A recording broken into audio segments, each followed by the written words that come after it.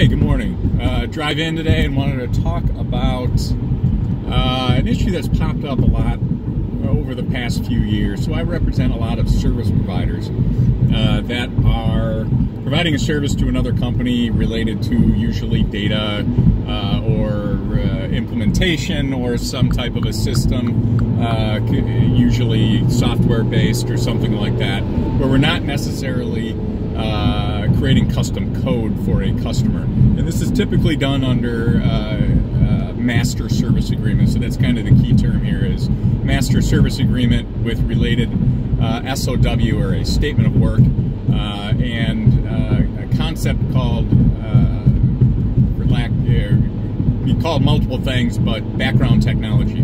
And where it comes up a lot of times is with a new client comes in and says, "Hey, we provided or we've been providing uh, services to XYZ big company. Usually, it's a big company, uh, and the service provider is a small company. Is uh, you know typical scenario, not always, but typical."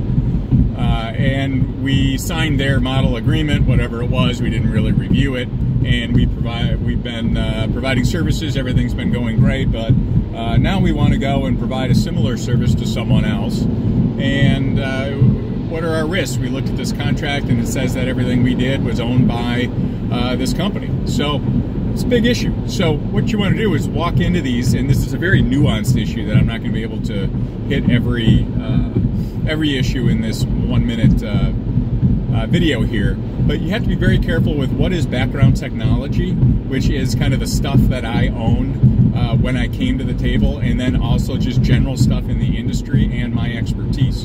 And particularly, you want to define out exactly what that is. Meaning, if I know how to do something, some service or or uh, uh, some deliverable, uh, I want to be able to do it for multiple customers, and I don't want to do it for this one big customer and then have that customer claim, well, I own it, so you can't do it for anybody else. So you have to be very careful when you go into these engagements to, to review the uh, master service agreement. Don't just sign blindly sign their model agreement, and let's really define out. Okay, here these are the things I'm going to provide to you customer client in my deliverable and there's some there may be some things in there that I'm licensing to you but it's not exclusive meaning I can use it for others and and I can uh, make some money working for other clients.